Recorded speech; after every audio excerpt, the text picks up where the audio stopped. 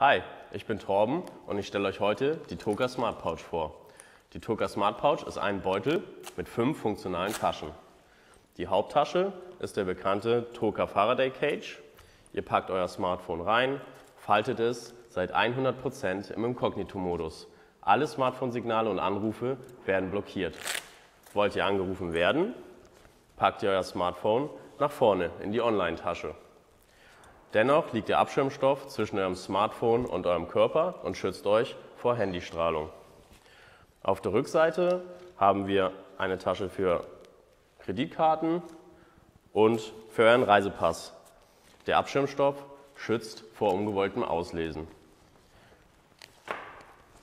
Hier haben wir die fünfte Tasche für Münzen und Geldscheine mit wasserfestem Reißverschluss. Alle Smart Pouches kommen mit einem Strap zum Umhängen, so macht ihr es zum Brustbeutel oder zur Umhängetasche. Das ist unsere Toka Smart Pouch.